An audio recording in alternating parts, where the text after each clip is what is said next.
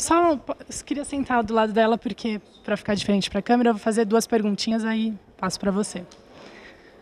É, Marina, a gente sabe que o, o, a rede de sustentabilidade precisa de 500 mil assinaturas e é uma corrida contra o tempo. Eu queria saber quantas mil vocês já têm hoje? Hoje nós já temos mais de 100 mil. Uhum.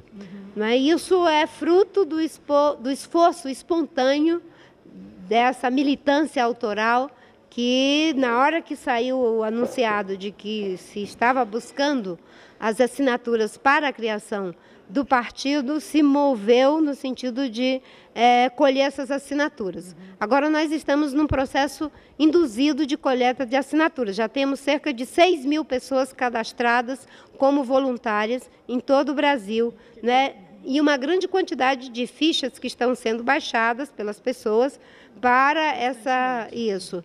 Então, ainda não temos esse levantamento. Daqui uns dias, nós vamos fazer um segundo levantamento, mas agora um pouco mais de 100 mil já temos. Outra curiosidade quanto a essas pessoas que estão apoiando, vocês vão fazer um levantamento de perfil, idade, classe social ou é, não, não tem esse levantamento? Não, nesse momento isso não é possível. É um trabalho hercúleo é. só para colher as assinaturas. Somente para... Isso. Mas como não é filiação, nós contamos com a contribuição de todos os setores é, da sociedade, de todas as idades, de todos os segmentos. né? Não, não há, digamos assim, um direcionamento específico, mas há uma grande mobilização, sobretudo da juventude. Legal. É, outra pergunta também, eu assisti a sua palestra do TED é, Rio Mais 20, e lá você fala de pessoas que inspiram sua vida, sua luta. É, você fala do bispo, né, Moacir Grec, o Lula, o FHC, Florestan Fernandes e também o Aziz Absaber. E você chama eles de mantenedores de utopia. E, e, você também fala o, seu desejo de ser uma mantenedora de utopia. Eu queria saber se a criação da rede sustentabilidade é a maior expressão da sua vida dentro dessa proposta de ser uma mantenedora de utopia. Eu acho que esse é o serviço que eu devo prestar agora. Né? Eu fiquei dois anos resistindo muito contra essa ideia de fazer o partido, porque eu né, falava, eu vou ficar na sociedade, eu criei o Instituto Marina Silva, estava me dedicando ao Instituto que tem o objetivo de trabalhar educação e mobilização para a sustentabilidade. Mas houve um, um apelo muito forte de que era preciso dar essa contribuição na realidade da política institucional.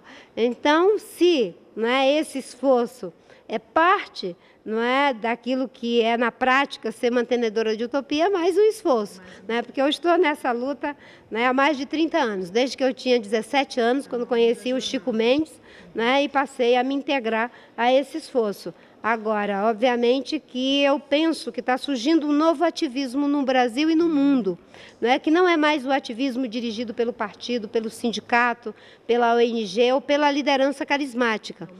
É aquilo que eu chamo de ativista autoral, que é a pessoa que sai desse lugar de espectador e que se coloca no lugar de protagonista, que é automobilizador e que ele se envolve com as causas por ele mesmo. E que cai naquela ideia de não ser mais posição e oposição, né? Situação oposição.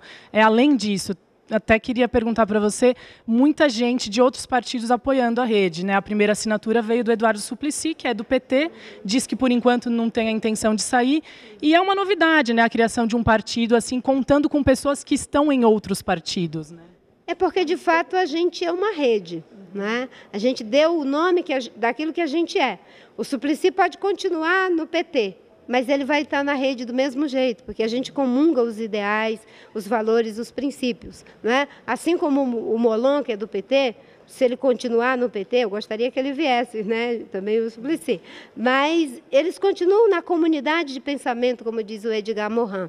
E as pessoas que têm posicionamento democrático, do PT, do PSDB, do, do, do enfim, do, do, do próprio o, o, do PMDB, o Simon, né? o Sheida lá de Santa Catarina, estão nos ajudando. São pessoas que têm um pensamento democrático e eles estão dizendo o seguinte: é legítimo que essa força política se organize para dar a contribuição que eles querem dar para o Brasil, porque é um partido que assume claramente a bandeira da sustentabilidade, assume claramente que quer antecipar alguns aspectos da reforma política, como, por exemplo, com o limite para a contribuição financeira, a questão de não repetir mais do que dois mandatos para os parlamentares, não é? apostar na quebra do monopólio dos partidos com a ideia das candidaturas independentes e assim por diante. Então, essas pessoas estão sim né, manifestando o seu apoio, ainda que não venham para a rede.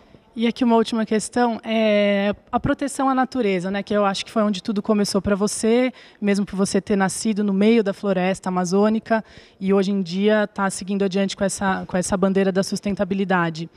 É, a gente sabe que a, a natureza ela tem limites, né, é, tem recursos que são finitos, só que a ganância do homem, ou talvez as necessidades que o homem tem, parecem ser infinitas.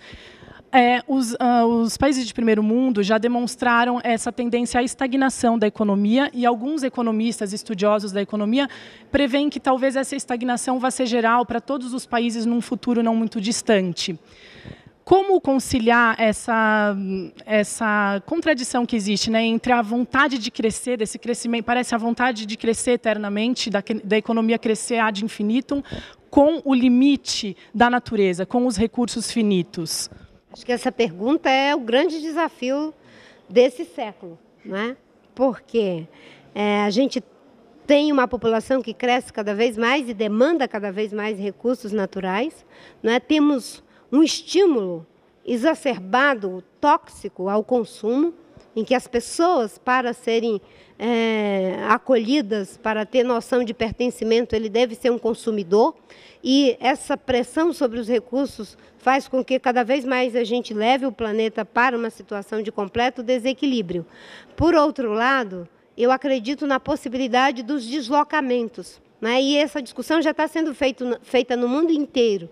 Né? Há limites para que todos tenham um carro, há limites para que todos possam ter, ter, ter indefinidamente, mas não há limites para ser.